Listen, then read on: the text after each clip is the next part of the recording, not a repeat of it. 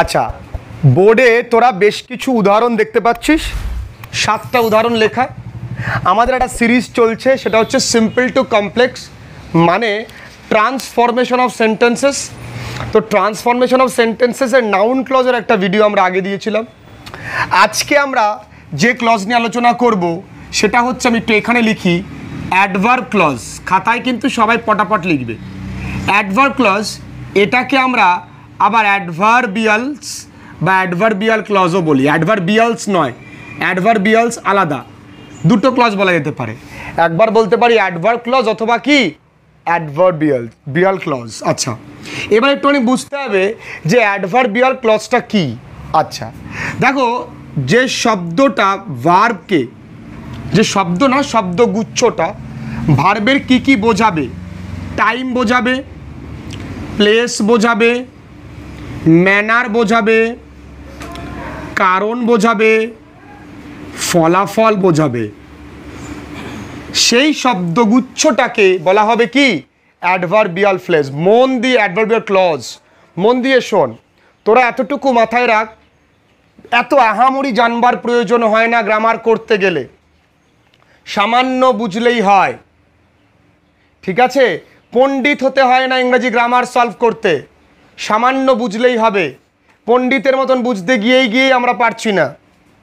আমি কি বললাম যে যে শব্দগুচ্ছটা ভার্বের কি বলবে? সময় ভার্বের স্থান ভার্বের ধরন ম্যানার আর ভার্বের কারণ, ফলাফল। ঠিক আছে? আমি প্রথম উদাহরণটা দেখি।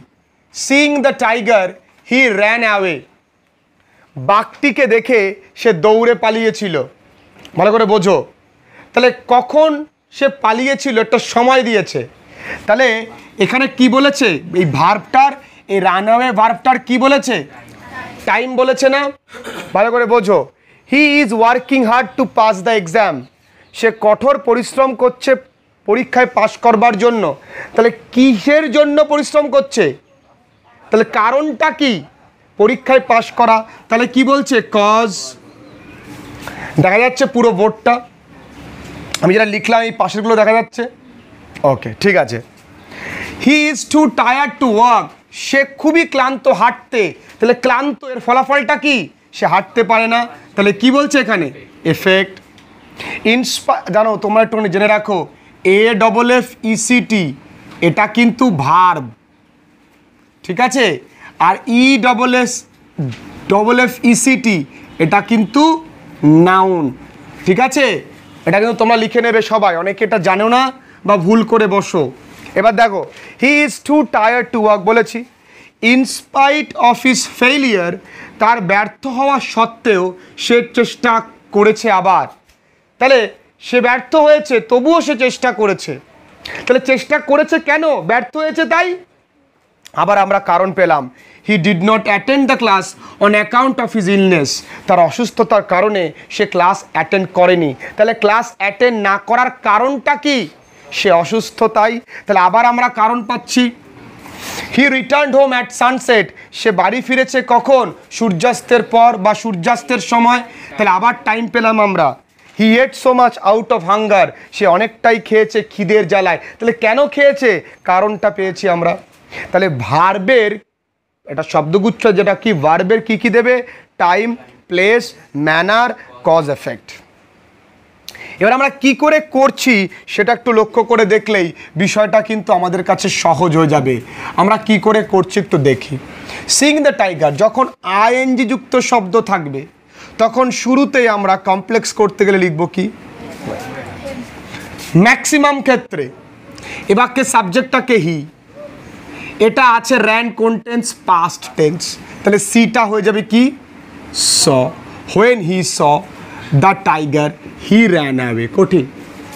জাস্ট এই এতটা সিংয়ের জন্য আমি কি লিখলাম? হোয়েন হি এইটা আমি এটাও তো ধারে নিয়েছি ওর কাছ থেকে। এই আইনযুক্ত শব্দটাকে আমি স করেছি। আর হোয়েনটাকে জাস্ট নিজে লিখেছি। যখন সে বাঘটিকে দেখেছিল, তখন সে দৌড়ে পালিয়েছিল। ক্লিয়ার ক্লিয়ার খাতায় লেখো। ক্লিয়ার তখনই হবে যখন আমি একটা করতে দিলে তোমরা পারবে। তাহলে এটা করতে দিই, চলো। মুছে দিলাম প্রশ্নটা। দেখো নোটিসিং আওয়ার হেড স্যার বা হেড মাস্টার মশাই বা head Pandit head master noticing our head sir we all went silent আমরা সবাই চুপচাপ হয়ে গিয়েছিলাম। বলতে পারবে উত্তরটা কিচ্ছু না। দেখো এটার মতন ওয়েন এই হিটা কি হয়ে যাবে? উই নোটিসিংটা কি হয়ে যাবে? নোটিসড যা আছে তাই। এই, বুঝতে পেরেছিস? জোরে বল ইয়েস অর নো আরও জোরে? ভেরি গুড দু নাম্বারটা ভালো করে বুঝে নি। মিলন মন দিয়ে বোঝ। প্রত্যেকটা ভিডিওতে তোর নাম নিচ্ছি আমি। হি ইজ ওয়ার্কিং হার্ড সে প্রচুর পরিশ্রম করছে, প্রচুর পরিশ্রম করছে। এই টুটাকে ভাঙতে হবে। কেন দ্যাট যে সে, তাহলে হিটা নিলাম আমি পাস করতে পারে ক্যান পাস দ্য এক্সাম আমি এখানে এমনও লিখতে পারি ক্যান না লিখে লিখতে পারি will pass the exam pass তো করবে, পড়ছে এখন পাস করবে, পড়ছে এখন পাস করবে। So he is working hard to pass the exam বা that he can pass the exam বা he will pass the exam কঠিন। আরেকটা করতে দিলে তোমাদের কাছে বিষয়টা সহজ হয়ে যাবে, দেখো।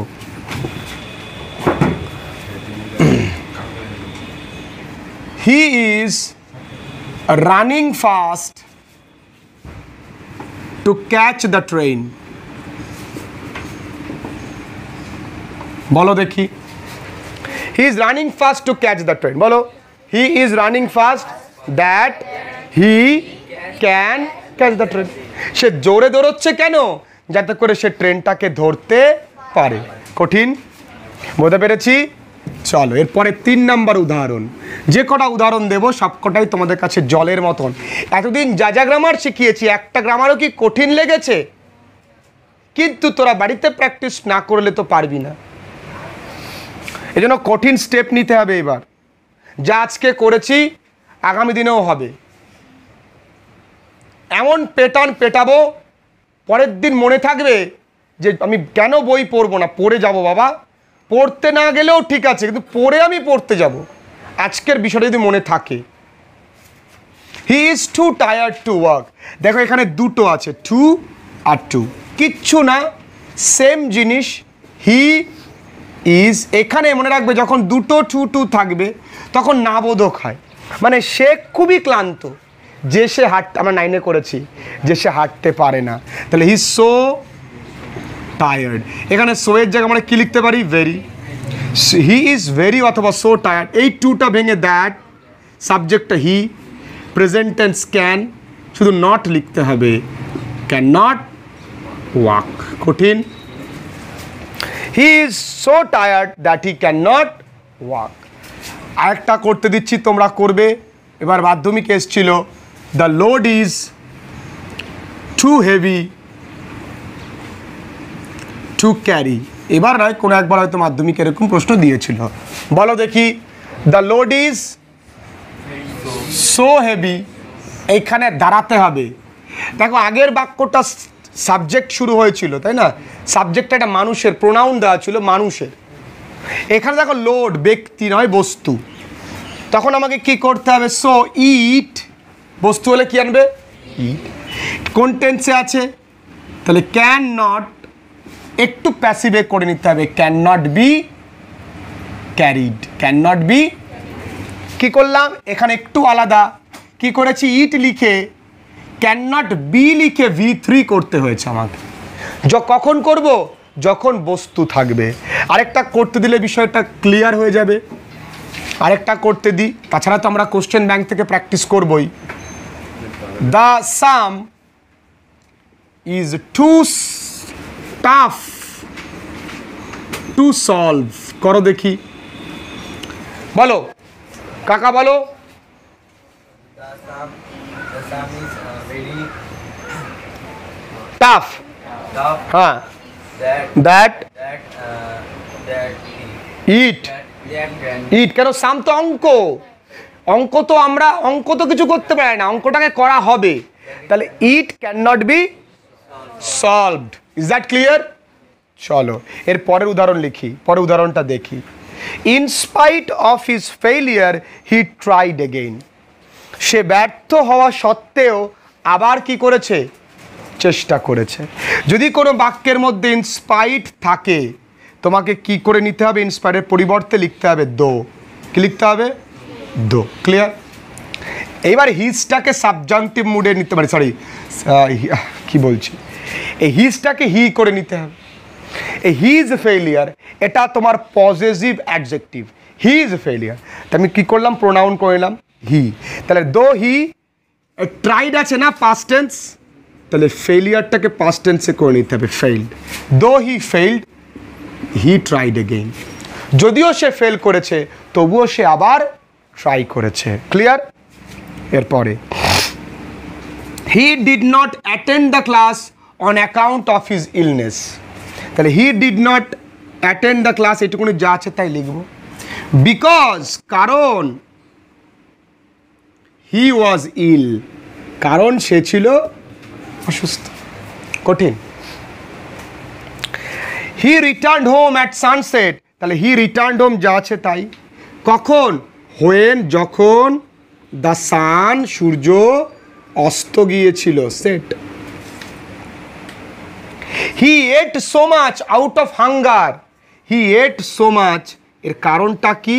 বিকজ দেখ, নিজেরাই পারবি। হি ওয়াজ হাংরি পারছিস তো?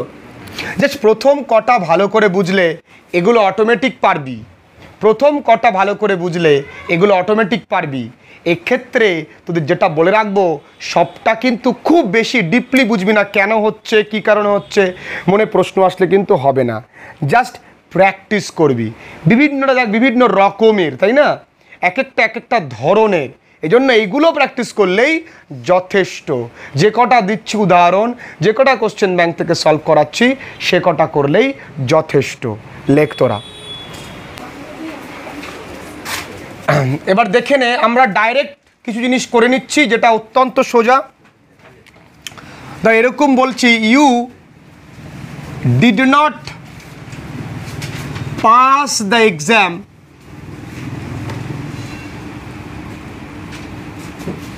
without my help তুমি আমার সাহায্য ছাড়া পরীক্ষায় পাশ করতে পারতে না। তাহলে you did not pass the exam without my help আমার সাহায্য ছাড়া তুমি পাশ করতে পারতে না। আমি এই বাক্যটাকে কী করে কমপ্লেক্স করব? অ্যাডভার্বিয়াল ক্লজ দিয়ে। You did not pass the exam যা আছে তাই। উইদাউট মাই হেল্পটাকে আমাকে ভেঙে লিখতে হবে আনলেস আই মাইটা কি হয়ে গেল? আই হেল্প ইউ যদি না আমি তোমায় সাহায্য করতাম। এটাও একটা ধরন হয়। এটাও একটা ধরন হয়। হয়তো? ভালো করে বোঝো। এই কটা করলেই আমার কাছে যথেষ্ট। কি? Simple to complex using adverbial clause কটা উদাহরণ করেছি? অনলি এইট তার সঙ্গে আরও আটটা যোগ করো। কত হয়? ষোলোটা। মানে আমরা প্র্যাকটিসও করেছি তার সঙ্গে কিছু। আজকের ভিডিওটা এই পর্যন্ত। আর তোদের জন্য আজকে ক্লাস এই পর্যন্তই।